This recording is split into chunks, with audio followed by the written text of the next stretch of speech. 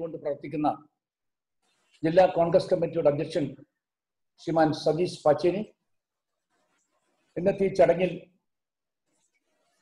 സംസാരിക്കാൻ എത്തിയിട്ടുള്ള എന്റെ പ്രിയ സുഹൃത്ത് മുൻ മന്ത്രി ഇരിക്കൂറിലെ M L A Shriman K C Joseph K P C സിയുടെ പ്രിയങ്കരനായ ജനറൽ സെക്രട്ടറി തലശ്ശേരി സ്വദേശി കൂടിയായിട്ടുള്ള ശ്രീമാൻ സജീവ് മാറൂടി സീനിയർ കോൺഗ്രസ് നേതാവ് കെ പി സി സിയുടെ മുൻ general secretary Shriman V A Narayanan K P C സിയുടെ executive committee member Shriman V M Jayarajan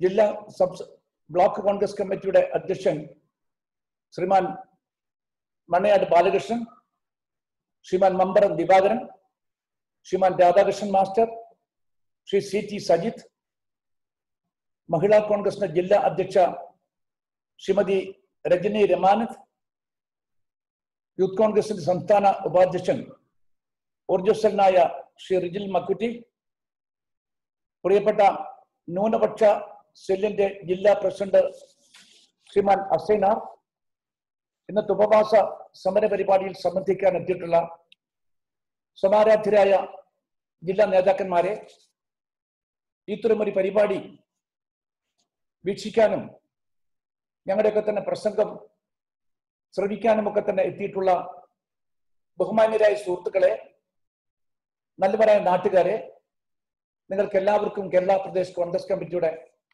ഹൃദയം നിറഞ്ഞ അഭിവാദനങ്ങൾ. തികച്ചും സംയോജിതമായ ഒരു സമര പരിപാടിക്കാണ് നിങ്ങൾ ഇന്ന് തുടക്കം കുറിച്ചിരിക്കുന്നത്. ഞാൻ നിങ്ങളെ പ്രത്യേകമായിട്ട് അഭിനന്ദിക്കാൻ ആഗ്രഹിക്കുകയാണ്. കേരളത്തിൽ അങ്ങോളം ഇങ്ങോളം സി പി എം വീണ്ടും അക്രമം അഴിച്ചുവിട്ടിരിക്കുകയാണ്. ഇന്ന് കാലത്ത് ഞാൻ ഉടനപ്പോൾ ആദ്യത്തെ ടെലിഫോൺ കോൾ കാസർഗോഡ് ജില്ല കോൺഗ്രസ് കമ്മിറ്റിയുടെ ഭാഗത്തു നിന്നാണ് എനിക്ക് ലഭിച്ചത്. കാസർഗോഡ് എം പി ശ്രീമാൻ രാജ്മോഹൻ ഉണ്ണിത്താൻ പയ്യന്നൂരിൽ ഇന്നലെ നടന്ന കമ്മ്യൂണിസ്റ്റ് മാർക്സിസ്റ്റ് പാർട്ടിയുടെ അക്രമത്തെക്കുറിച്ച് വളരെ വിശദമായിട്ട് അദ്ദേഹം സംസാരിക്കുകയുണ്ടായി ഇവിടെ ശ്രീമാൻ സതീശൻ ആ കാര്യം സംസാരിച്ചതുകൊണ്ട് ഞാൻ കൂടുതൽ കടന്നു പോകാൻ ആഗ്രഹിക്കുന്നില്ല. സി പി എം വീണ്ടും അക്രമത്തിലേക്ക് തിരിച്ചു പോകാൻ ആഗ്രഹിക്കുന്നത് അവർക്ക് വരാൻ പോകുന്ന ലോക്കൽ ബോഡി തെരഞ്ഞെടുപ്പും തുടർന്നുണ്ടാകുന്ന സംസ്ഥാന നിയമസഭയിലേക്ക് തെരഞ്ഞെടുപ്പും അവർക്ക് ഉറക്കം നഷ്ടപ്പെടുത്തിയിരിക്കുകയാണ്. ഈ നാട്ടിലെ ജനങ്ങൾ എന്തെന്നില്ല തമർശത്തിൽ പ്രതിഷേധത്തിൽ ഈ ഗവൺമെന്റിനായിട്ട് വിധി പ്രഖ്യാ പ്രഖ്യാപിക്കാൻ വേണ്ടിയുള്ള തീരുമാനമായിട്ടാണ് മുന്നോട്ട് പോകുന്നത്. ഇതിൽ കമ്മ്യൂണിസ്റ്റ് മാർക്സിസ്റ്റ് പാർട്ടിയുടെ നേതൃത്വം വിഹ്വലമായിരിക്കുകയാണ്. അവർ പരിഭ്രാന്തരായിരിക്കുകയാണ്. ജനങ്ങൾക്ക് നിർഭയമായിട്ട് വോട്ട് ചെയ്യാൻ അവകാശവും അധികാരവും ലഭിച്ചു കഴിഞ്ഞാൽ ഈ തെരഞ്ഞെടുപ്പ് വിധി തങ്ങൾക്ക് പൂർണമായിട്ടും എതിരായിരിക്കും. ചരിത്രത്തെ ഒരിക്കലും കമ്മ്യൂണിസ്റ്റ് പാർട്ടിക്ക് നേരിടാൻ സാധിക്കാത്ത അത്രയും വലിയ ഒരു പരാജയമായിരിക്കുമെന്ന് മനസ്സിലാക്കിയിട്ടാണ്? ആ പരാജയ ഭീ മുന്നിൽ കണ്ടുകൊണ്ട് രാജ്യമാസകലും അക്രമം അഴിച്ചുകൊണ്ട് ഭീതിയുടെയും ഭയത്തിന്റെയും അന്തരീക്ഷം സൃഷ്ടിക്കാൻ വേണ്ടി സി പി എം പരിശ്രമിച്ചുകൊണ്ടിരിക്കുന്നു. വീണ്ടും നമ്മുടെ നാട്ടിനെ ഒരു കലാപഭൂമിയാക്കാൻ വേണ്ടിയിട്ടാണ് സി പി എമ്മിന്റെ പരിശ്രമം. ഈ പരിശ്രമത്തെ തുറന്നു കാട്ടാൻ ജനമനസ്സുകളിലേക്ക് കോൺഗ്രസിന് സന്ദേശം എത്തിക്കാൻ നമുക്ക് സമാധാനമാണ് എന്ന് ഉജ്ജ്വലമായിട്ട് പ്രഖ്യാപിക്കാൻ വേണ്ടിയിട്ടുള്ള ഒരു ധീരമായ സമരത്തിന്റെ ഒരു തുടർച്ചയായ രൂപത്തിലാണ് ഈ ഉപവാസ സമരം നമ്മൾ ഇവിടെ സംഘടിപ്പിച്ചത്. അക്രമത്തെക്കുറിച്ച് പറയുമ്പോൾ ഏറ്റവും ഒടുവിലത്തെ ഉദാഹരണം പൊന്നിയത്തെ ബോംബ് നിർമ്മാണവുമായി ബന്ധപ്പെട്ടുകൊണ്ട് രണ്ട് മൂന്ന് യുവാക്കന്മാരുടെ കൈപ്പറ്റ് നഷ്ടപ്പെടുകയും അവർക്ക് മാരകമായി പരിക്കേൽക്കുകയും ചെയ്ത സംഭവമാണ്. ഈ സംഭവവുമായി ബന്ധപ്പെട്ടുള്ള പ്രതികളെ രക്ഷിക്കാൻ വേണ്ടിയിട്ടുള്ള ശ്രമങ്ങൾ ആരംഭിച്ചു കഴിഞ്ഞിരിക്കുകയാണ്. അതിലേക്ക് ഞാൻ വിശദമായിട്ട് കടന്നു പോകാനല്ല ഇപ്പോൾ നിൽക്കുന്നത്. എന്നാലും എന്റെ ദുഃഖം ഇതിൽ രണ്ട് മുഖ്യ പ്രതികൾ ഈ കൈപ്പത്തുകളും നഷ്ടപ്പെട്ട ഒരു യുവാവ് അതോടൊപ്പം മാരകമായി പരിക്കേറ്റ് ആശുപത്രിയിൽ കിടക്കുന്ന മറ്റൊരു യുവാവ്. മയ്യടിപ്പുഴക്കപ്പുറം എന്റെ നാട്ടിലെ യുവാക്കന്മാരാണ് എന്ന് പറഞ്ഞാൽ ഞാൻ ലജ്ജിച്ച് തലതാഴ്ത്തുന്നു. ദേശീയ പ്രസ്ഥാനത്തിന്റെ മണ്ണാണ് എന്റെ നാട്. ആ നാട് ബ്രിട്ടീഷ് സാമ്രാജ്യത്തിനായി ആയുധമെടുക്കാതെ പോരാടിയ പോരാളികളുടെ നാടാണ്. ധീരമായ ഒരുപാട് പോരാട്ടങ്ങൾക്ക് നേതൃത്വം കൊടുത്ത ആ പുണ്യമായ മണ്ണിൽ നിന്നാണ് അക്രമ രാഷ്ട്രീയത്തിന്റെ പതാക വാഹന്മാരായി കൊണ്ട് കുറെ ചെറുപ്പക്കാർ വളർന്നു വരുന്ന കാര്യം എനിക്ക് മനസ്സിലാക്കാൻ വേണ്ടി സാധിച്ചത്. ഇത് ലാഘവ ബുദ്ധിയോടുകൂടി കാണാൻ സാധിക്കുന്ന ഒരു കാര്യമല്ല. നിങ്ങൾക്കറിയാം കഴിഞ്ഞ ദിവസം മെഞ്ഞാറമൂട്ടിൽ നടന്ന കൊലപാതകം. ആ കൊലപാതകം ഒരു രാഷ്ട്രീയ കൊലപാതകമല്ല. രണ്ട് ക്രിമിനൽ ഗ്യാങ്ങുകൾ തമ്മിൽ നടത്തിയ ഒരു സംഘട്ടനത്തിന്റെ ഫലമായി രണ്ടുപേർ മരിച്ചുപോയതാണ് എന്ന കാര്യം ഇന്ന് കേരള പുസ്തകം വിശദമായ ചർച്ചകൾ നടത്തുകയാണ്. കഴിഞ്ഞ ദിവസം ഞാനിപ്പോൾ സംസാരിക്കുന്ന ഇന്ദിരാഭവനിൽ സംസ്ഥാന കോൺഗ്രസ് കമ്മിറ്റിയുടെ മുൻ അധ്യക്ഷൻ ശ്രീമാൻ എം ഹസൻ ജില്ലാ കോൺഗ്രസ് കമ്മിറ്റി അധ്യക്ഷൻ പ്രിയപ്പെട്ട സനൽ കെ പി സി സിയുടെ ജനറൽ സെക്രട്ടറി ശ്രീമാൻ പാലോട് രവി അതുപോലെ തന്നെ നമ്മുടെ യൂത്ത് കോൺഗ്രസ് സംസ്ഥാന ഉപാധ്യക്ഷൻ P Sabarinath M L A തുടങ്ങിയ ആളുകൾ സംയുക്തമായി പത്രസമ്മേളനം വിളിച്ചുകൊണ്ട് ആ സംഭവത്തിന് ആധാരമായിട്ടുള്ള വസ്തുതകൾ വെളിപ്പെടുത്തുന്ന സി സി ടി വി പ്രദർശിപ്പിച്ചുകൊണ്ട് ആ കാര്യങ്ങളൊക്കെ തന്നെ വിശദമായിട്ട് പത്രത്തിന്റെ മുമ്പാകെ മാധ്യമങ്ങളുടെ മുമ്പാകെ വിശദീകരിക്കുകയുണ്ടായി. ആ വിശദീകരണം എല്ലാവർക്കും ബോധ്യപ്പെടുകയുണ്ടായി. ഇരുഭാഗത്തും മാരകമായ ആയുധങ്ങൾ എടുത്തുകൊണ്ട് പോരേണ്ട സുപ്രസിദ്ധരായ കുറ്റവാളികൾ തമ്മിലുള്ള സംഘടനമായിട്ടാണ് അത് ഒരുപക്ഷെ തിരുവനന്തപുരത്തെ പത്രലേഖന്മാരെ അവർക്ക് ഏത് രാഷ്ട്രീയ വീക്ഷണം ഉണ്ടായി കഴിഞ്ഞാലും അവർക്ക് പൂർണമായിട്ടും ബോധ്യപ്പെട്ട കാര്യം ഞാൻ ഇവിടെ എടുത്തു പറയാൻ ആഗ്രഹിക്കുകയാണ്. ഇപ്പോൾ അന്വേഷണം കൃത്യമായും സത്യസന്ധമായും നടക്കുകയാണെങ്കിൽ അത് കേരള പോലീസിനെ കൊണ്ട് സാധിക്കുമോ? പോലീസിന് കഴിഞ്ഞ നാല് വർഷമായിട്ട് അത്തരം ഒരു പാരമ്പര്യവുമില്ല. ആ മഹത്വം അവകാശപ്പെടാൻ സാധിക്കില്ല. നിർഭയത എന്ന സ്വതന്ത്രമായി കാര്യങ്ങൾ മുന്നോട്ട് കൊണ്ടുപോകുന്ന സമീപനം കേരള പോലീസിന് എന്ന് നഷ്ടപ്പെട്ടിരിക്കുകയാണ്. അതുകൊണ്ടാണ് ഞങ്ങൾ പറഞ്ഞത് ഏത് അന്വേഷണവും ഞങ്ങൾ സ്വീകരിക്കാൻ തയ്യാറാണ്. പക്ഷേ കേരള ഗവൺമെന്റ് അന്വേഷിക്കാൻ പാടില്ല. അത് സെൻട്രൽ ബ്യൂറോ ഓഫ് ഇൻവെസ്റ്റിഗേഷൻ പോലുള്ള ഏജൻസി തന്നെ അന്വേഷിച്ചാൽ മാത്രമേ കുറ്റവാളികളെ പുറത്തു കൊണ്ടുവരാൻ സാധിക്കൂ എന്നാണ് ഞങ്ങൾക്ക് ഇന്നലെയും ഇന്നും നാളെയും പറയാനുള്ളത്. വെഞ്ഞാറമ്മൂട് കൊലപാതകവുമായി ബന്ധപ്പെട്ടുകൊണ്ട് ഡിവൈഎഫ്ഐയുടെ സംസ്ഥാന സെക്രട്ടറി ചുറ്റിപ്പറ്റിക്കൊണ്ടാണ് ഇന്ന് എല്ലാ തരത്തിലുമുള്ള വാദവിവാദങ്ങൾ ഉയർന്നിരിക്കുന്നത്. അദ്ദേഹമാണ് ഈ കൊലപാതകത്തിൽ അന്വേഷിച്ചാൽ പരിപൂർണമായിട്ടും പങ്കെടുക്കാൻ ഇടയുള്ള വ്യക്തി എന്ന കാര്യം ഇന്ന് കേരള പുസ്തകത്തിന് തിരിച്ചറിയാൻ സാധിക്കുകയാണ്. അതാണ് അവസ്ഥാവിശേഷം അതുകൊണ്ട് തന്നെ അക്രമ രാഷ്ട്രീയത്തിന് അറിഞ്ഞു വരുത്താൻ സമാധാനം എന്നേക്കുമായിട്ട് ഈ നാട്ടിലേക്ക് തിരിച്ചു കൊണ്ടുവരാൻ അത് ഉദ്ദേശിച്ചുകൊണ്ടാണ് പ്രിയപ്പെട്ട സതീശ് നേതൃത്വത്തിൽ നിങ്ങൾ ഇത്തരമൊരു ഉപവാസ സമരത്തിന് തുടക്കം കുറിച്ചിരിക്കുന്നത് ഇതൊരു മഹാ സന്ദേശമായി മാറട്ടെ എന്നാണ് എനിക്ക് ആദ്യമായിട്ട് ആശംസിക്കാനുള്ളത്. കേരളത്തിന്റെ ചരിത്രം പരിശോധിച്ചു കഴിഞ്ഞാൽ കഴിഞ്ഞ അൻപത് വർഷക്കാലത്തടയിൽ ഏതാണ്ട് ഇരുന്നൂറ്റി ഇരുപത്തി അഞ്ചിലേറെ കൊലപാതകങ്ങൾ രാഷ്ട്രീയ കൊലപാതകങ്ങൾ അത് നമ്മുടെ സംസ്ഥാനത്ത് നടക്കേണ്ടായി. അതിലേറിയ കൂറും നടന്നിട്ടുള്ളത് നമ്മുടെ ഈ ഉത്തര മലബാറിലാണ്. കണ്ണൂർ ജില്ലയിൽ കാസർഗോഡ് ജില്ലയിൽ കുറെ കൊലപാതകങ്ങൾ കോഴിക്കോട് ജില്ലയിൽ. അതുപോലെ ഈ ഗവൺമെന്റ് വന്ന ശേഷം ഏതാണ്ട് പത്ത് മുപ്പതിലേറെ കൊലപാതകങ്ങൾ ഈ സംസ്ഥാനത്ത് നടന്നു കഴിഞ്ഞിരിക്കുകയാണ്. ഗവൺമെന്റിന്റെ ആരംഭം കുറിച്ചുകൊണ്ട് മുഖ്യമന്ത്രി സത്യപ്രതിജ്ഞ നടത്തിയ ഉടനെ തന്നെ ആദ്യത്തെ രണ്ട് കൊലപാതകം നടന്നത് അദ്ദേഹത്തിന്റെ ജന്മഭൂമിയായ കമ്മ്യൂണിസ്റ്റ് പാർട്ടിക്ക് ആവിർഭാവം കേരളത്തിൽ തുടങ്ങിയെന്ന് അവരവകാശപ്പെടുന്ന പാറപ്പുറത്തിന് നാടായിട്ട പിണറായിലാണ് രണ്ട് കൊലപാതകം നടത്തിയത്. ഈ നാണം കെട്ട മുഖ്യമന്ത്രിക്ക് ഈ കാര്യത്തെക്കുറിച്ച് അറിയില്ലേ?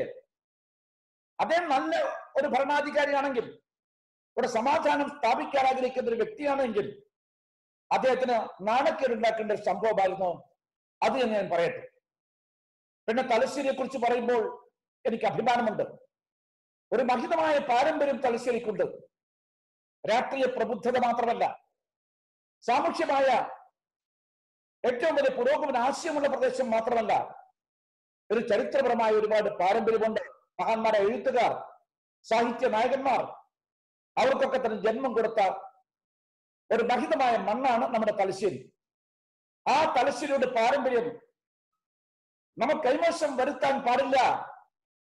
അതാർക്കും കൈവിട്ട് കൊടുക്കില്ല എന്ന് ഉജ്ജ്വലമായിട്ട് പ്രഖ്യാപിക്കാൻ കാപാലിക രാഷ്ട്രീയക്കാരന്റെ കയ്യിലേക്ക് അത് തള്ളി കൊടുക്കില്ല എന്ന് പറയാൻ കൂടിയിട്ടൊരു വേദിയായിട്ട് ഈ വേദി നിങ്ങൾ നോക്കിക്കാണണം.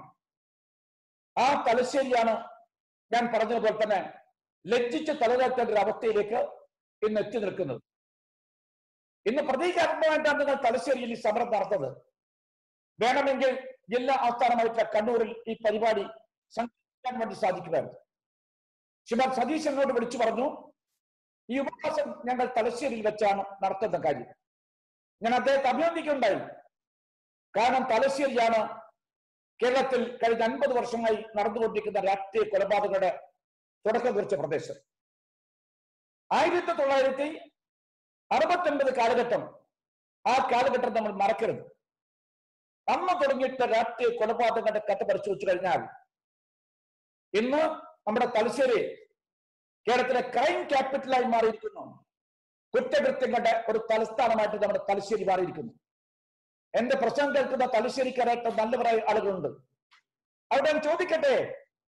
നിങ്ങളുടെ ഈ നിശബ്ദത നിങ്ങൾക്ക് ഇതുകൊണ്ട് പ്രതികരിക്കാൻ സാധിക്കാത്തൊരവസ്ഥ എന്തൊരു നാണക്കേടാണ്?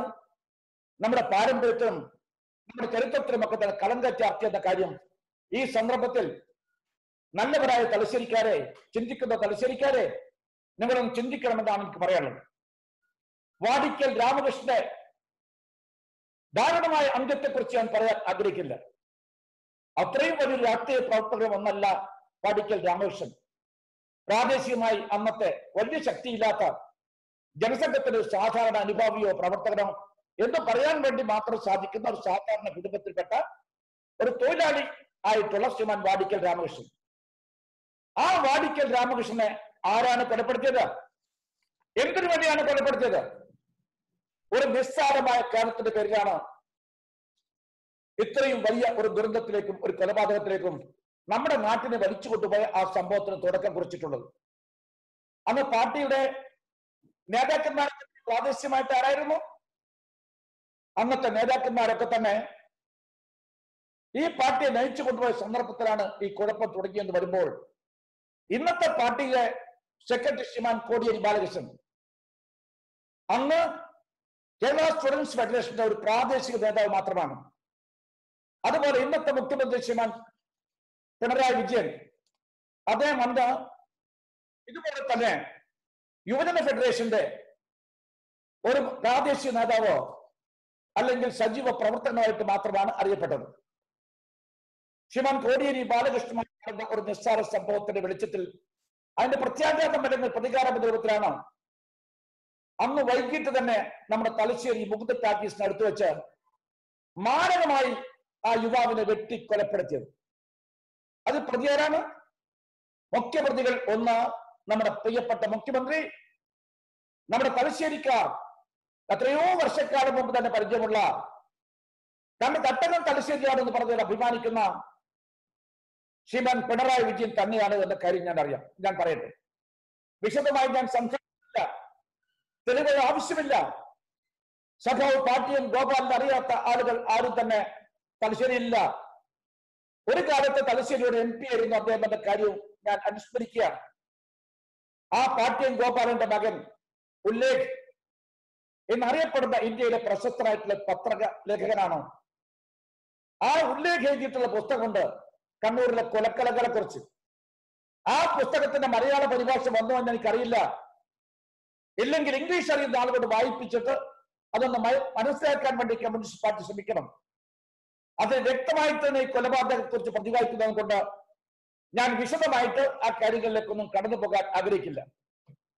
പിന്നെ ഈ തലശ്ശേരിയിൽ നടന്നുകൊണ്ടിരിക്കുന്ന കാര്യം എന്താണ്? ഉത്തര മലബാറിൽ സംഭവിച്ചുകൊണ്ടിരുന്ന കാര്യങ്ങൾ എന്താണ്? ഇവിടെ കൽപ്പിക്കുന്നതും കൊല്ലുന്നതും വിധി പ്രഖ്യാപിക്കുന്നതും സി പി എംകാരാണ്. ഇവിടെ കോടതിയില്ല പോലീസില്ല നിയമമില്ല. നിയമ വാഴ്ചയുമില്ല ആ നിയമം കയ്യിലെടുത്തുകൊണ്ടാണ് ഈ ഇവർ അര നൂറ്റാണ്ട് കാലമായി ഈ കശ്മീര രാഷ്ട്രീയമായിട്ട് മുന്നോട്ട് പോയിക്കൊണ്ടിരിക്കുന്നത്. അര നൂറ്റാണ്ട് കാലമായി ഇവിടെ കാട്ടു നീതിയാണ് നടത്തപ്പെടുന്നത് മാനം മര്യാദയോടുകൂടി ആർക്കും ജീവിക്കാൻ സാധ്യമല്ല. ധൈര്യവിഹാരം നടത്താൻ സാധ്യമല്ല. ആ അക്രമ രാഷ്ട്രീയത്തിന്റെ ഫലമായിട്ട് നമ്മുടെ നാടിന് കണ്ണീരും കൈയുമായി മുന്നോട്ട് പോകേണ്ട അവസ്ഥയാണ് വന്നു ചേർന്നിട്ടുള്ളത് ഇവിടെ പോലീസുമില്ല പട്ടാളമില്ല എല്ലാം തീരുമാനിക്കുന്നത് എല്ലാം നിർണയിക്കുന്നത് സി പി എമ്മിന്റെ പ്രാദേശിക ഘടകളാണ് സി പി എമ്മിന്റെ ജില്ലാ നേതൃത്വമാണ്. സി പി എമ്മിന്റെ നേതാക്കന്മാരാണ് ഈ കാര്യങ്ങളൊക്കെ തന്നെ ഉപദേശ നിർദ്ദേശങ്ങൾ കൊടുക്കുന്നത്. ബോംബ് നിർമ്മാണം തലശ്ശേരിയിലും പരിസര പ്രദേശത്തും ഒരു കുടിൽ വ്യവസായമായി വളർന്നിരിക്കുന്നു. എന്തൊരു അപമാനമാണ് ബോംബ് നിർമ്മാണം കുടിൽ വ്യവസായമായി മാറിയിരിക്കുന്നു. തലശ്ശേരിയിൽ നിന്ന് ബോംബ് നിർമ്മിച്ചുകൊണ്ട് ഉത്തര മലബാറിന്റെ എല്ലാ ഭാഗത്തും ഈ തെരഞ്ഞെടുപ്പിന് മുന്നോടിയായി അത് കൃത്യസമയത്ത് എത്തിച്ചു കൊടുക്കണമെന്ന ഉത്തരവാദിത്തമാണ് അത്രേ ഈ കുട്ടികളെ ഏൽപ്പിച്ചത്. നിരപരാധികളും ഒരുപക്ഷെ പാവപ്പെട്ടവരുമായ ഈ കുട്ടികൾ അവരെ ക്രിമിനലുകളായിട്ട് വളർത്തിയതാരാണ്? ആ ക്രിമിനൽ സംഘങ്ങൾ അംഗങ്ങളായിട്ട് ഈ ചെറുപ്പക്കാരെ റിക്രൂട്ട് ചെയ്ത് അവർക്ക് പരിശീലനം കൊടുത്ത ആരാണ് ഇനി നാട് ചർച്ച ചെയ്യേണ്ട ഒരു പ്രധാന വിഷയമായിട്ട് എനിക്ക് തോന്നുകയാണ്. നിങ്ങൾക്കറിയാം സി പി എമ്മിന്റെ കയ്യിലുള്ള ആയുധ ശേഖരത്തിൽ പകുതി പോലും നമ്മുടെ കേരളത്തിന്റെ പോലീസിന്റെ കയ്യിലില്ല എന്നാണ് പരമാർത്ഥം. അത്രയേറെ കേരള പോലീസിന്റെ കയ്യിൽ ആയുധമുണ്ട്. വെടിക്കോപ്പുകളുണ്ട്. അവിടെയാണ് കമ്മ്യൂണിസ്റ്റ് മാർക്സിസ്റ്റ് പാർട്ടിയുടെ കേരള ഘടകം നിൽക്കുന്നത്. അക്രമ രാഷ്ട്രീയം സി പി എമ്മിന്റെ കൂടപ്പിറപ്പാണ്. അധികാരത്തിൽ തടൽ എന്തും ചെയ്യാമെന്ന ഹൂങ്കാണ് അവർക്കുള്ളത്. നാലേകാൽ വർഷത്തെ ഭരണത്തെക്കുറിച്ച് ഞാൻ വിശദമായി സംസാരിക്കാനല്ല ഇവിടെ നിൽക്കുന്നത്.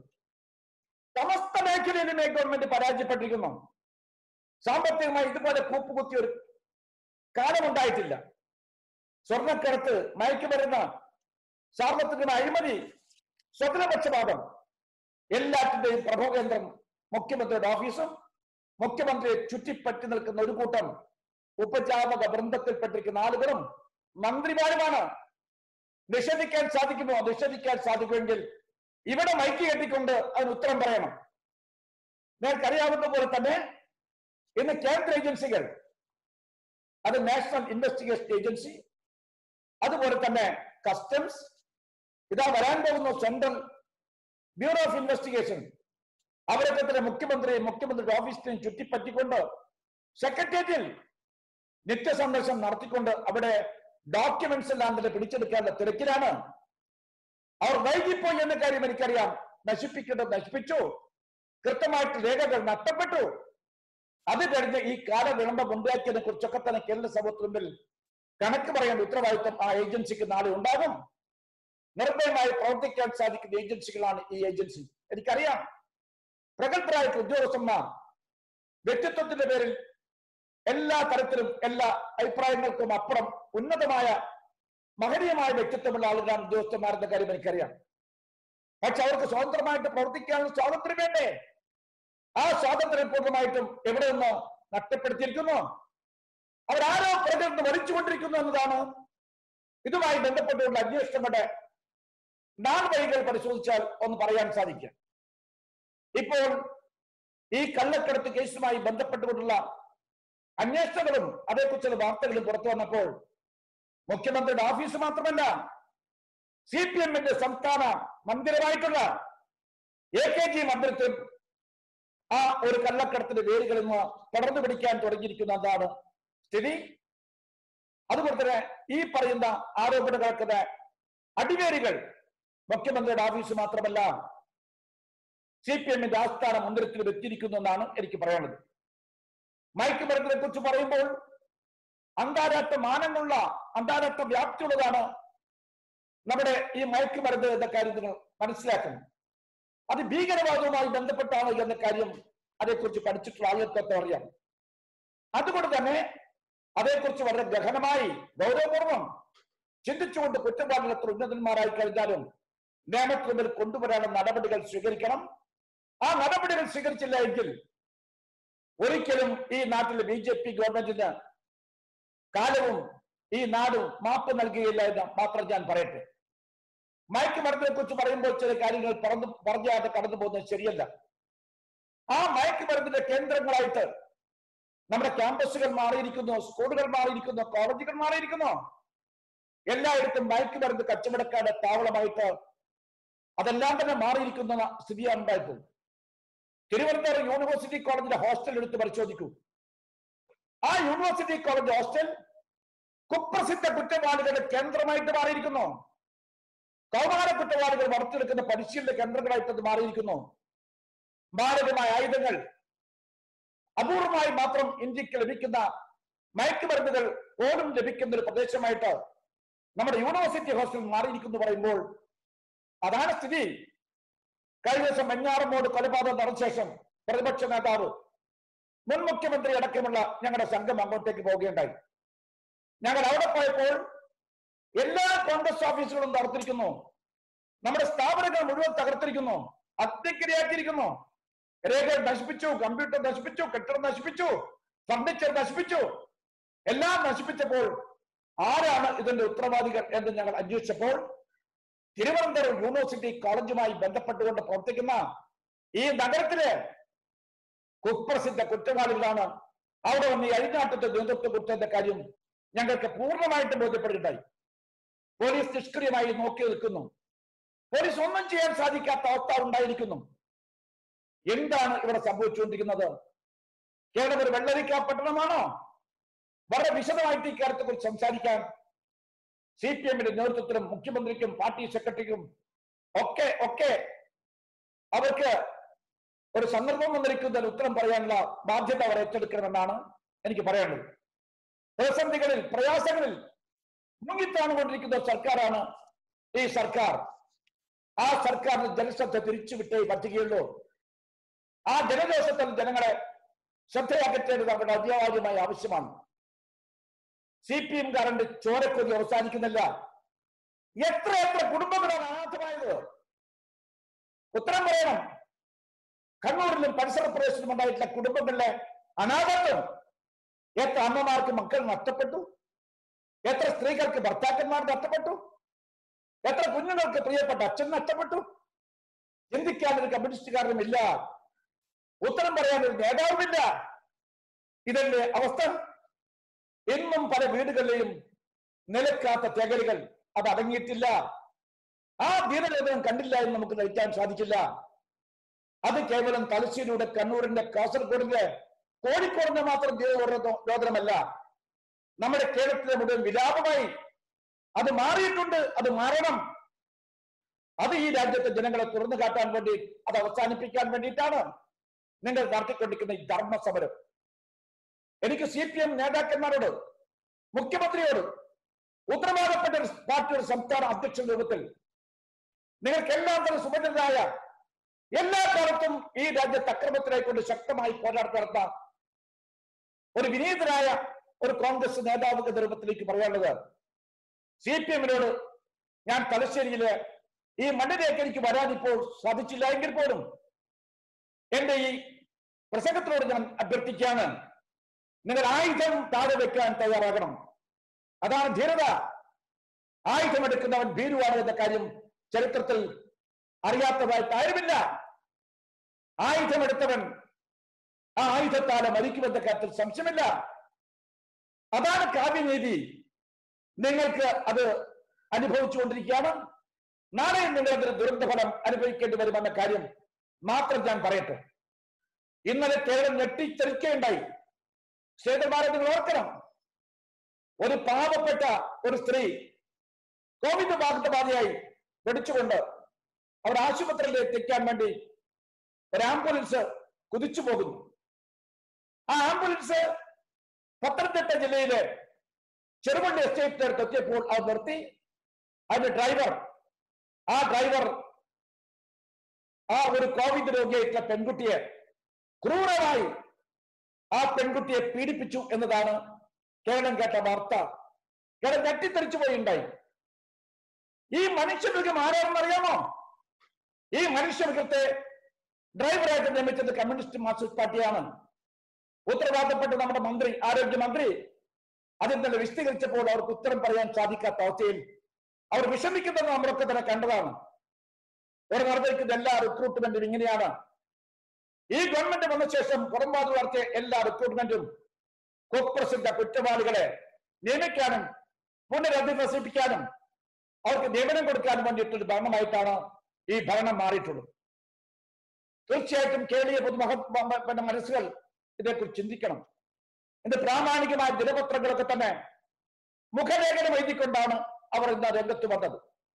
അമർശമുണ്ട് പ്രതിഷേധമുണ്ട്. ഇത്രയും ക്രൂരമായ പ്രവർത്തനങ്ങൾ നടത്താൻ ഒരു കമ്മ്യൂണിസ്റ്റുകാരന് മാത്രമേ സാധിക്കുള്ളൂ മനുഷ്യത്വമുള്ള ഒരു മനുഷ്യനും സാധിക്കില്ല. കമ്മ്യൂണിസം ഒരു വലിയ പ്രത്യയശാസ്ത്രമായിട്ടാണ് ഞങ്ങളൊക്കെ തന്നെ മനസ്സിലാക്കിയത്. വിശ്വത്തോളം വിശാലമുള്ള മനുഷ്യസ്നേഹമുള്ളവന് മാത്രമേ ഒരു കമ്മ്യൂണിസ്റ്റ് ആകാൻ സാധിക്കൂ എന്ന് പഠിപ്പിച്ച ഒരു പാർട്ടിയാണിത്.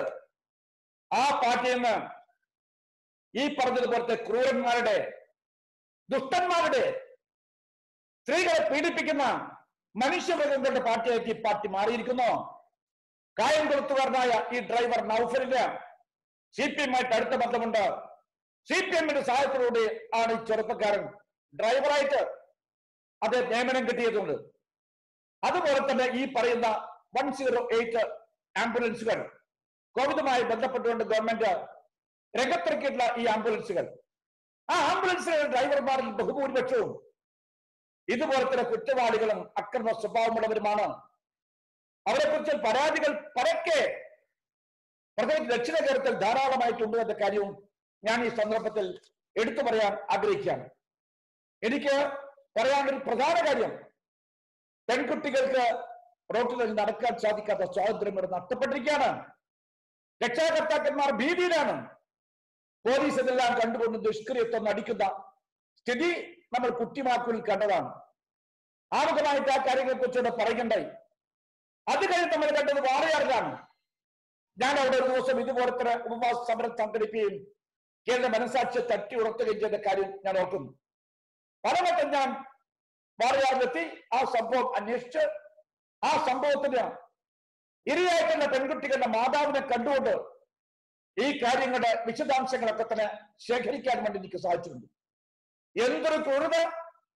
പ്രതികളില്ലാത്ത സി പി എംകാർ അന്വേഷണം വഴിവിട്ട് നിൽക്കുന്നു. ഈ പോലീസ് മുന്നോട്ട് പോകാൻ സാധിക്കാതെ ഉത്തരവ് കിട്ടാതെ വിഷമിക്കുന്ന അവസ്ഥാവിശേഷം നമ്മുടെ കേരളത്തിലുണ്ടായിരിക്കുന്നു പാലത്തായും പറഞ്ഞ കാര്യത്തെ കുറിച്ച് ഞാൻ പറയുന്നില്ല.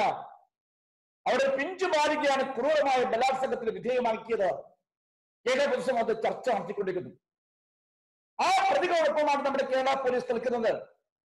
ഇപ്പോൾ നമ്മുടെ തലശ്ശേരി പോലീസിനെ കുറിച്ചും ആരോപണം ഉണ്ടായിരിക്കുന്നു എന്നാണ് ഇന്ന് കാലത്ത് എന്നോട് പലരും പറഞ്ഞിരിക്കുന്നത്. ആ തലശ്ശേരിയിലെ പോലീസ് നിഷ്ക്രിയമായി എന്ന് വന്നാൽ പിന്നെ സമാധാനത്തെ കുറിച്ച് ചിന്തിക്കേണ്ട കാര്യമില്ല. ആ ക്രമസമാധാനം പൂർണമായിട്ടും നമ്മുടെ വടക്കേ മലബാറിൽ തകർന്നുകൊണ്ടാണ് അവർ സൂചിപ്പിക്കുന്നത്. അതുകൊണ്ട് ഹൃദയമല്ല നല്ല പോലീസ് ഉദ്യോഗസ്ഥന്മാരുണ്ടെങ്കിൽ പല മിടുക്കന്മാരായ പോലീസ് ഉദ്യോഗസ്ഥന്മാരും പണ്ട് കണ്ണൂരിലുണ്ടായ കാര്യം എനിക്കറിയാം. ആർ രവി അത് ഇവിടെ നിന്ന് ഡെപ്യൂട്ടേഷനിലേക്ക് വന്നപ്പോൾ ആഭ്യന്തര മന്ത്രാലയത്തിൽ എന്നോടൊപ്പം അഞ്ചു വർഷക്കാലം പ്രവർത്തിച്ച ഇന്നും റിട്ടയർമെന്റ് കടിച്ച സ്പെഷ്യൽ ഉദ്യോഗസ്ഥനായിട്ട് നമ്മുടെ രാഷ്ട്രത്തിന് സേവനം അനുഷ്ഠിച്ചു വെക്കുന്ന പ്രഗത്ഭരായ ആർ എൻ രവി കണ്ണൂരിലെ എസ് പി ആയിരുന്ന കാര്യം ഓർക്കണം.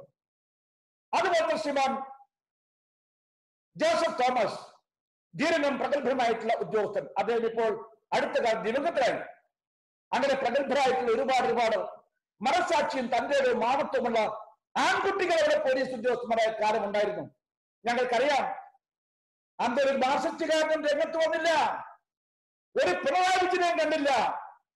ആ പിണറായി വിജയൻ സാക്ഷാൽ കൂത്തുപറമ്പിലെ മറോടി കെട്ടിൽ വെച്ച് ആ ജോസഫ് തോമസ് കൈകാര്യം ചെയ്ത കാര്യം ഈ നാട്ടിന് അറിയാം. ആ നാക്ക് ഈ നാട്ടിലെ ജനങ്ങൾക്ക് പലപ്പോഴും അപകടമുണ്ടാക്കുന്ന നാക്കാട് എന്ന് കണ്ടുകൊണ്ട് അത് നാം അടക്കാൻ വേണ്ടി പരസ്യമായിട്ട് പറഞ്ഞപ്പോൾ ഒരക്ഷരം പറയാനോ ചോദിക്കാനോ സാധിക്കാത്ത അന്നത്തെ കമ്മ്യൂണിസ്റ്റ് പാർട്ടി നേതൃത്വത്തെക്കുറിച്ചും ഞങ്ങൾക്ക് അറിയാമെന്ന് മാത്രം ഞാനിവിടെ പറയട്ടെ. എത്ര എത്ര കൊലപാതകങ്ങളാണ് നിങ്ങൾ നടത്തിയത്. പേരിയിലെ ശരത്ലാലും കൃപേഷിനെയും ദാരുണമായ ഇന്ത്യം പാവപ്പെട്ട കുട്ടികൾ കലാകാരന്മാർ. ഈ നാട്ടിലെ എല്ലാ സാമൂഹ്യ പ്രവർത്തകരുടെയും ജീവകാരുടെ പ്രവർത്തകരുടെ മുമ്പിൽ ഒരു പ്രാകാരം വന്ന രണ്ട് കുട്ടികൾ. ഒരു നാട്ടിന്റെ കണ്ണിലുണ്ണികളായിട്ടുള്ള വേണമെങ്കിൽ ഇരട്ട സഹോദരന്മാർ നിക്ഷേപിക്കാൻ സാധിക്കുന്ന കുട്ടികൾ. ഞങ്ങളുടെ അഭിമാനകരമാണ് ആ- ആ രണ്ട് കുട്ടികൾ. അവർ നിങ്ങൾ യാതൊരു കാരണവും കൂടാതെയാണ് നിങ്ങൾ ഒരു സായം സന്ധ്യക്ക് പോകുമ്പോൾ തടഞ്ഞു നിർത്തിക്കൊണ്ട് ക്രൂരമായി വെട്ടി വെട്ടി കൊലപ്പെടുത്തിയത്. ആരാണ് പ്രതികൾ?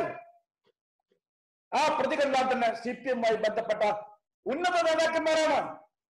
ആരാണ് നേതൃത്വം കൊടുത്തത്? ഉത്തരം പറയണം.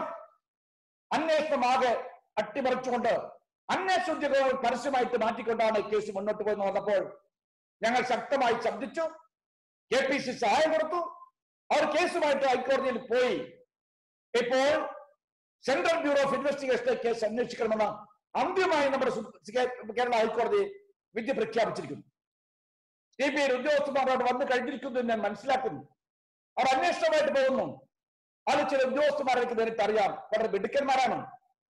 പക്ഷെ പല സുപ്രധാനമായ രേഖകളും പോലീസ് നശിപ്പിച്ചു കഴിഞ്ഞു എന്നതാണ് എനിക്ക് മനസ്സിലാക്കാൻ സാധിച്ചത്. ഞെട്ടിക്കുന്ന വാർത്തയാണ്. എല്ലാ കേസുകളും തുമ്പില്ലാതാക്കാൻ എല്ലാ കേസുകളെയും ഗതി മാറ്റിക്കാൻ വേണ്ടി ഈ ഒരു പാർട്ടി ശ്രമിക്കുമെന്ന കാര്യത്തിൽ എനിക്ക് അല്പം പോലും സംശയമില്ല എന്ന് ഞാൻ പറയട്ടെ.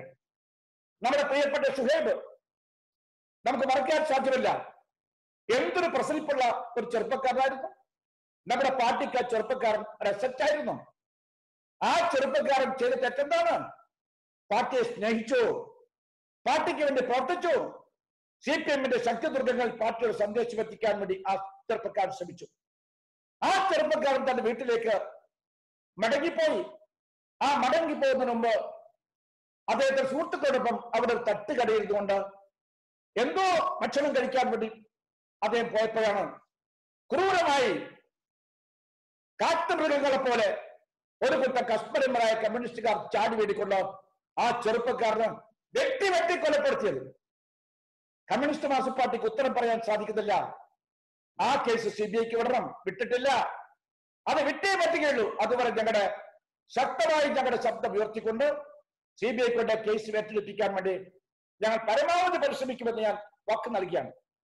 എന്റെ നാട്ടുകാരൻ ടി പി ചന്ദ്രശേഖരൻ. നാട്ടുകാരനാണെങ്കിലും അദ്ദേഹമായിട്ട് ആദ്യഘട്ടങ്ങളൊന്നും തന്നെ എനിക്ക് ബന്ധമുണ്ടായിരുന്നില്ല. കമ്മ്യൂണിസ്റ്റ് പാർട്ടിയിൽ കലാപം ചെയ്തുകൊണ്ട് പുറത്തു വന്ന ശേഷം അദ്ദേഹം ഒറ്റപ്പെട്ടപ്പോൾ അദ്ദേഹം പലപ്പോഴും ഞാനുമായി ബന്ധപ്പെട്ടുകൊണ്ട് ഞാനുമായി അടുത്ത് ബന്ധപ്പെട്ടുകൊണ്ട് പ്രവർത്തിച്ച ഒരു പഴയകാല കമ്മ്യൂണിസ്റ്റ് ആണ്. ഉത്തമനായ ഒരു കമ്മ്യൂണിസ്റ്റ് പാർട്ടിയുടെ നേതാവായിട്ടാണ് ആ പ്രദേശങ്ങളൊക്കെ അറിയപ്പെടുന്നത്. ആ ചന്ദ്രശേഖരൻ നിങ്ങൾ അമ്പത്തിയൊന്ന് വെട്ടാണ് വെട്ടിയത്. എന്തൊരു ക്രൂരത. ഹൃദയമുള്ള ആർക്കും ഈ കൊലപാതകത്തെ ന്യായീകരിക്കാൻ സാധിക്കുമോ? ഇല്ല. അരിൽ ശുക്കൂറിനെ വെട്ടിക്കൊന്നത് എങ്ങനെയാണ്? ആ ചെറുപ്പക്കാരൻ പാവപ്പെട്ട ഒരു മുസ്ലിം ലീഗ് പ്രവർത്തകരാണ് സാധാരണ കുടുംബത്തിൽപ്പെട്ട ആൾ ഒരു പാടത്തിന്റെ മധ്യത്തിൽ ആ ചെറുപ്പക്കാർ നിർത്തിക്കൊണ്ട് നിങ്ങൾ താലിബാൻ മോഡൽ ആ ചെറുപ്പക്കാരന്റെ കുറ്റവിചാരണ നടത്തി. ആ ചെറുപ്പക്കാരനെ നിങ്ങൾ തുണ്ടം തുണ്ടമായിട്ട് ചെറുപ്പക്കാരനെ വെട്ടിക്കൊന്നു. അതിന് ഉത്തരവാദികൾ ആരാണ്? രണ്ട് പ്രമുഖ നേതാക്കന്മാർ. അതും ജനപ്രതി നടത്തുന്ന ആളുകൾ. ഇന്ന് നിയമക്കോടതിയിൽ അവർ കയറി ഇറങ്ങുന്ന കാഴ്ചയാണ് നമ്മൾ കണ്ടത്. അതുപോലത്തെ തലശ്ശേരിയിലെ ഫസലിന്റെ കാര്യം ഞാൻ പറയേണ്ട കാര്യമില്ല. ഫസൽ ഏത് രാഷ്ട്രീയ പാർട്ടിയിലാണോ ഞങ്ങൾക്കൊരു പ്രശ്നമില്ല. ഏത് മതം സംഭവിച്ചു കഴിഞ്ഞാലും അത് കോൺഗ്രസ്സുകാരനാട്ടെ സി പി എംകാരനാട്ടെ ബി ജെ പിക്കാരനാട്ടെ ഓരോ മരണവും ഒരു ദുരന്തമാണ് ഓരോ മരണവും ഒരു ദുഃഖമാണ്. ആത്യന്തികമായി കുടുംബത്തിന് മാത്രമാണ് ആ കണ്ണീർ ആ ദുഃഖം ആ തീവ്രവേദന അനുഭവിക്കേണ്ട അവസ്ഥാവിശേഷം ഉണ്ടാകുന്നു എന്ന കാര്യവും ഞങ്ങൾ ഓർക്കുന്നു. നാഷണൽ ക്രൈം റെക്കോർഡ്സ് ബ്യൂറോ എനിക്ക് നന്നായിട്ട് അറിയാം ആ ഡിപ്പാർട്ട്മെന്റിനെ കുറിച്ച് ആ national crime record national crime record bureau പറയുന്നത് ഇന്ത്യ രാജ്യത്ത് കുറ്റകൃത്യങ്ങൾ നടത്തുന്ന മൂന്നാമത്തെ സംസ്ഥാനമായിട്ടാണ് നമ്മുടെ കേരളം നിൽക്കുന്നത് എന്നാണ്. സ്ത്രീകൾക്ക് സുരക്ഷിതത്വമില്ലാത്ത മൂന്നാമത്തെ സംസ്ഥാനമായിട്ട് നമ്മുടെ കേരളം മാറിയിരിക്കുന്നു. എന്താണ് ഇവിടെ സംഭവിച്ചുകൊണ്ടിരിക്കുന്നത്? ഇതേക്കുറിച്ചൊക്കെ തന്നെ നമ്മൾ ആളുകൾ ചിന്തിക്കണം. അത് ആദ്യമായി ചിന്തിക്കണം നമ്മുടെ തലശ്ശേരിയിലെ ആളുകളാണ് അവർ ഉറങ്ങരുത്. അവർ ഇതുപോലത്തെ നിശ്ചത്വം കാണിക്കരുത്. അവർ നിഷ്കർഷ്യം കാണിക്കരുത്. എപ്പോഴും എപ്പോഴും എല്ലായിടത്തും നിശബ്ദത പാലിക്കുന്ന ഒരു ജനതയ്ക്കാണ് പിന്നീട് കൂടുതൽ കൂടുതൽ ദുരന്തം അനുഭവിക്കേണ്ടതെങ്കിൽ ആ തലശ്ശേരിക്കാർ ഉറക്കത്തിൽ തുറന്നുകൊണ്ട് ഈ കാര്യങ്ങളെ കുറിച്ച് അവർ പരസ്പരമെങ്കിലും ഒന്ന് സംസാരിക്കാനോ ഇവിടെ നടക്കുന്ന കാര്യങ്ങളെ കുറിച്ച് സ്വന്തം മനസ്സാക്ഷിയോട് ചോദിക്കാനോ പ്രിയപ്പെട്ട തലശ്ശേരിക്കാരെ പ്രബുദ്ധമായ പാരമ്പര്യമുള്ള തലശ്ശേരിക്കാരെ നിങ്ങൾ ചിന്തിക്കണമെന്നാണ് പറയുന്നത് സി പി എം നേതാക്കന്മാർ മക്കൾ ആരും ക്രമികളല്ല അവരെല്ലാം തന്നെ രാജകീയമായ സുഖസൗകര്യത്തോടു കൂടിയാണ് മുന്നോട്ട് പോകുന്നത്. അത് മുഖ്യമന്ത്രിയുടെ പാർട്ടി മക്കളാകട്ടെ പാർട്ടി സെക്രട്ടറിയുടെ മക്കളാകട്ടെ അവരൊക്കെ തന്നെ ഏറ്റവും സമ്പന്നന്മാർ പഠിക്കുന്ന കോളേജുകളിലും അതുപോലെ സ്ഥാപനങ്ങളിലും പഠിച്ചുകൊണ്ട് ബർമിംഗ്ഹാം യൂണിവേഴ്സിറ്റിയിൽ പഠിച്ചുകൊണ്ട് അവരൊക്കെ തന്നെ ഉന്നതമായ നിലയിൽ ജീവിക്കുന്ന അവസ്ഥാവിശേഷം ഉണ്ടായിട്ടുണ്ട്. അവർ സുഖവാസ കേന്ദ്രങ്ങളിലേക്ക് പോകുന്നു. അവർ നിശാക്ലബുകളിൽ പോകുന്നു. അവർക്ക് സ്വന്തമായി കോടികൾ മുടക്കിക്കൊണ്ട് ഐ ടി സ്ഥാപനങ്ങൾ സ്ഥാപിക്കാൻ സ്ഥാപിക്കാൻ സാധിക്കുന്നു. അവർ അന്താരാഷ്ട്ര കുറ്റവാളികളായിട്ട് മയക്കുമരുന്ന് സംഘങ്ങളുമായിട്ട് ബന്ധപ്പെട്ട് നിർബാധം പ്രവർത്തിക്കുന്നു. ഇതല്ലേ സ്ഥിതി? ഇതൊക്കെ തന്നെ നല്ലവരെ ബീഡി തീർത്തുകൊണ്ട് അതുപോലെ തന്നെ കൈത്തറി ശാലകളിൽ പോയിക്കൊണ്ട് കഠിനമായി അധ്വാനിക്കുന്ന കൈത്തറി തൊഴിലാളികളെ പാടത്ത് പണിയെടുക്കുന്ന പാവപ്പെട്ട കർഷക തൊഴിലാളികളെ നിങ്ങളൊക്കെ തന്നെ കാര്യങ്ങളെ കുറിച്ച് വളരെ ഗൗരവം ചിന്തിക്കണം. നിങ്ങൾക്ക് എന്തുണ്ടായി ഈ പാർട്ടി കൊണ്ട്? ഈ പാർട്ടിയോട് ചെങ്കൊടി പിടിച്ചുകൊണ്ട് നിങ്ങളെ കഴിഞ്ഞ കുറെ വർഷക്കാലമായിട്ട് കൊണ്ടുപോയത് ഈ കാലക്കൂട്ടന്മാരെ തീറ്റിപ്പറ്റാൻ വേണ്ടിയിട്ടാണ് ആ അവരെ തടിച്ച് തടിച്ച് കൊഴിപ്പിക്കാൻ വേണ്ടിയിട്ടാണോ നിങ്ങൾ ഇത്രയും കാലം പ്രവർത്തിച്ചെന്ന കാര്യം ഒരു നിമിഷം നിങ്ങൾ ചിന്തിക്കണം തലശ്ശേരിയിലെ കണ്ണൂരിലെ ചാവേടെ പാവങ്ങളെ നിങ്ങൾക്ക് ബുദ്ധിയില്ലേ? നിങ്ങൾക്ക് എങ്ങനെയെങ്കിലും ഈ കാര്യത്തെക്കുറിച്ച് ചിന്തിക്കാൻ നിങ്ങൾക്ക് മനസ്സില്ലേ? നിങ്ങളുടെ ഈ കാര്യത്തെക്കുറിച്ച് നിങ്ങൾക്ക് ചിന്തിക്കണമേ എന്നാണ് പറയേണ്ടത് നേതാക്കന്മാർ പറയുമ്പോൾ ആയുധമെടുത്തുകൊണ്ട് ചാവേറുകളായി മരിക്കേണ്ട ഗതികേടാണ് നിങ്ങൾക്ക് ഉണ്ടായിട്ടുള്ളത്. എല്ലാം ഈ രാജ്യത്തെ പിന്നോക്ക വിഭാഗത്തിൽപ്പെട്ട ഈടവ സമുദായത്തിൽ തീയ സമുദായത്തിൽപ്പെട്ട ആളുകളാണ് ഏറെ ആളുകൾ മരിച്ചു പോകുന്നത് പാവകൾ അധ്വാനിക്കുന്നവർ കഷ്ടപ്പെടുന്നവർ കുടുംബം പുറത്താൻ സാധ്യതയില്ലാത്ത ആളുകൾ. എത്ര നിരപരാധികളെയാണ് നിങ്ങൾ കേസിൽ കുടുക്കിക്കൊണ്ട് ഈ പ്രോക്സി പ്രതികളായിക്കൊണ്ട് ഇന്ന് ജയിലുകളിൽ താമസിപ്പിക്കുന്നത്? ഇതൊക്കെ തന്നെ ഈ നാട്ടിൽ നല്ലവരെ ചാവേരകളെ ചാവേരകളുടെ കുടുംബത്തിൽപ്പെട്ട ആളുകളെ നിങ്ങൾ ഒന്ന് മനസ്സിലാക്കണം ചിന്തിക്കണം. അത് ശ്രമിക്കാൻ വേണ്ടി നിങ്ങൾ തയ്യാറാക്കണമെന്നാണ് പറയുന്നത് ഞാൻ ചടയൻ ഗോവിന്ദനെ കുറിച്ച് ഓർക്കുകയാണ് ആരാണ് ചടയൻ ഗോവിന്ദൻ? സി പി എമ്മിന്റെ സംസ്ഥാന സെക്രട്ടറി. മാന്യനായ ശ്രീമാൻ ചടയൻ ഗോവിന്ദൻ. എനിക്ക് അദ്ദേഹത്തെ നന്നായിട്ട് അറിയാം നിസ്വനായി ജനിച്ച് നിസ്വനായി മരിച്ച ശ്രീമാൻ ചടയൻ ഗോവിന്ദൻ. ജീവിച്ചിരുന്ന കാലത്ത് അദ്ദേഹം തന്റെ മക്കൾക്ക് വേണ്ടി എന്തും ചെയ്യാൻ സാധിക്കുമായിരുന്നു. അദ്ദേഹം അധികാരം ദുർവിനിയോഗം ചെയ്തില്ല മക്കളെ പഠിച്ചുകൊണ്ട് മുന്നോട്ട് കൊണ്ടുപോകാൻ ആ ചെറു ആ ആ നേതാവിന് സാധിച്ചില്ല. അവസാനം തൊഴിൽ രഹിതരായിട്ട് നിർത്തരണ ഒരു സാഹചര്യത്തിൽ ആ കുടുംബം ജീവിക്കുന്നു എന്ന് പറയുമ്പോൾ അതുപോലെ നല്ല കമ്മ്യൂണിസ്റ്റുകാരൊക്കെ തന്നെ നമ്മുടെ കണ്ണൂർ ജില്ലയിൽ ഉണ്ട് എന്ന കാര്യം ഞാൻ ഓർക്കുന്നു. സഖാവ് C Kannattan Shriman K P R Gopalan ഇവരൊക്കെ തന്നെ എങ്ങനെയാണ് ജീവിച്ചത് എങ്ങനെയാണ് മരിച്ചത്? ഈ നാട്ടിലെ ജനങ്ങളെ കാര്യങ്ങളെ കുറിച്ചൊക്കെ നല്ല കമ്മ്യൂണിസ്റ്റുകാരെ നിങ്ങൾ ചിന്തിക്കണമെന്നാണ് എനിക്ക് പറയാനുള്ളത്. ഈ നേതാക്കന്മാർ മുഖ്യമന്ത്രിയായിട്ട് പാർട്ടി സെക്രട്ടറി ആയിട്ടെ അവർക്ക് നാണമില്ലേ തലശ്ശേരിയിൽ വരാനും തലശ്ശേരിയിൽ നിന്ന് പോകാനും? അവർ ജനിച്ച ചുറ്റുപാട് ദാരിദ്ര്യത്തിന്റെയും കട്ടപ്പാടിന്റെയും കണ്ണീരിന്റെയും ചുറ്റുപാടായിരുന്നു. ഇന്ന് അവരാരാണ്? അവരാരാണ്? ഉത്തരം പറയണം. തലശ്ശേരിയിൽ വണ്ടി ഇറങ്ങിക്കഴിഞ്ഞാൽ പിണറായിയുടെ വീട്ടിലേക്ക് പോകണമെങ്കിൽ നാൽപ്പത്തിരണ്ട് അകമ്പടി വാഹനങ്ങളുമായിട്ട് പോകുന്ന മനുഷ്യൻ ഈ നാട്ടിന് ഒരു ബാധ്യതയാണ്. തലശ്ശേരിക്കാരെ നിങ്ങൾ തിരിച്ചറിയണം. അത് തിരിച്ചറിയാൻ നിങ്ങൾക്ക് സാധിക്കാതെ പോയാൽ നിങ്ങളെ കുറിച്ച് ഞാൻ എന്തു പറയാനാണ്? ഈ കാര്യങ്ങളെ കുറിച്ച് ഒരു നിമിഷം നിങ്ങൾ ചിന്തിക്കണം. ഞങ്ങൾക്ക് അനുകൂലമായിട്ട് വോട്ടൊന്നും നിങ്ങൾ രേഖപ്പെടുത്തേണ്ട. നിങ്ങളത് തിരിച്ചറിയാൻ തയ്യാറാകണമെന്നാണ് പറയുന്നത് തലശ്ശേരി എം എൽ എയെ കുറിച്ച് ഞാൻ പറയുന്നില്ല. പറയേണ്ട തരത്തിലുള്ള ഒരാളല്ല എന്നതുകൊണ്ട് ഞാൻ ആ കാര്യങ്ങളെ കുറിച്ച് പറയാൻ ആഗ്രഹിക്കില്ല. ചോക്കര സ്റ്റേറ്റുമാരെ ആ തലശ്ശേരി എം എൽ എ ചുറ്റിപ്പറ്റിക്കൊണ്ട് ഒരുപാട് കാര്യങ്ങൾ ഇന്ന് പറഞ്ഞു കേൾക്കുന്നുണ്ട്. അതൊക്കെ തന്നെ നിങ്ങൾ ഒന്ന് വിലയിരുത്താൻ വേണ്ടി തയ്യാറാകണമെന്നാണ് എനിക്ക് പറയാനുള്ളത്. അഞ്ചു വർഷം നിങ്ങൾ ഓർക്കണം. ഈ അൻപത് വർഷത്തെ കൊലപാതക രാഷ്ട്രീയത്തെ കുറിച്ച് നിങ്ങൾ ഒന്ന് വിശദീകരിക്കണം. തീർച്ചയായിട്ടും നമുക്ക് ഈ രാജ്യത്ത് അക്രം എന്നേക്കുമായിട്ട് അവസാനിപ്പിക്കണം. ഈ തലശ്ശേരിയിൽ ഇന്ന് നടത്തുന്ന വിവാഹ സമരം അതിനൊരു പ്രഖ്യാപനമാകട്ടെ. ആയുധം താഴെ വെക്കുന്ന എത്തിക്കുന്നത് വരെ നമുക്ക് ഈ സമര പരിപാടിയുമായിട്ട് മുന്നോട്ട് പോകണം. അതാണ് എനിക്ക് നിങ്ങളിലൂടെ ഈ രാജ്യം ഭരിക്കുന്ന മുഖ്യമന്ത്രിയും പാർട്ടി സെക്രട്ടറിയും അറിയിക്കാനുള്ളത്. മുഖ്യമന്ത്രിയും പാർട്ടി സെക്രട്ടറിയും പ്രതീകാത്മകമായിട്ട് തലശ്ശേരിയിൽ വന്നുകൊണ്ട് ഈ മണ്ണിൽ വെച്ച് അക്രമ രാഷ്ട്രീയത്തിന് കേരളത്തെ തുടക്കം കുറിച്ച് മണ്ണിൽ വെച്ചുകൊണ്ട് പറയണം. ഞങ്ങൾക്ക് തെറ്റുപറ്റിയിരിക്കുന്നു. ആയുധം താഴെ വെക്കാൻ ഞങ്ങൾ തയ്യാറാടുന്ന ആ രണ്ട് നേതാക്കന്മാരും പറഞ്ഞാൽ ഇനി കേരളത്തിൽ അക്രമ രാഷ്ട്രീയം ഉണ്ടാവില്ല. ആ അക്രമ രാഷ്ട്രീയം അന്തിമായിട്ട് അവസാനിപ്പിക്കാൻ സാധിക്കുമെന്ന ഉറച്ച വിശ്വാസമാണ് എനിക്കുള്ളത്. ഞാൻ മറ്റു കാര്യങ്ങളിലേക്ക് കടന്നു പോകാൻ ആഗ്രഹിക്കില്ല. എന്റെ പ്രശ്നങ്ങൾ അപ്പൊ നീണ്ടുപോയി എന്ന കാര്യം എനിക്കറിയാം. എങ്കിൽ പോലും പറയാതെ കടന്നു പോകുന്നത് ശരിയല്ലാതുകൊണ്ടാണ് ഇത്രയും കാര്യങ്ങൾ ഞാൻ പറഞ്ഞത്. നമുക്ക് ധീരമായിട്ട് മുന്നോട്ട് പോകാം. നമുക്ക് ഈ പ്രസ്ഥാനത്തെ നയിച്ചുകൊണ്ട് സമാചാരം നമ്മുടെ വടക്കേ മലബാറിലേക്ക് തിരിച്ചു കൊണ്ടുവരുന്നവരെ നമുക്ക് മുന്നോട്ട് പോകാം. നമുക്ക് സമരം വിജയകരമായ പരിസരത്തെത്തിക്കാൻ സാധിക്കുമെന്ന വിശ്വാസമുണ്ട്. ഈ നാട്ടിൽ നല്ലവരായ ജനങ്ങൾ നമ്മുടെ കോൺഗ്രസ് പ്രസ്ഥാനത്തോടൊപ്പം ഉണ്ടാകുമെന്ന് ഞാൻ ഉറപ്പ് നൽകിക്കൊണ്ട് ഇന്ന് നടത്തുന്ന ഈ ഉപവാസ സമര പരിപാടി ഞാൻ ഉദ്ഘാടനം ചെയ്യുന്നു.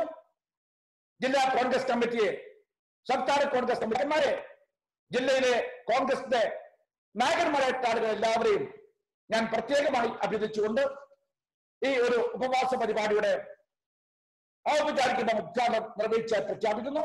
നമസ്കാരം. ജയ്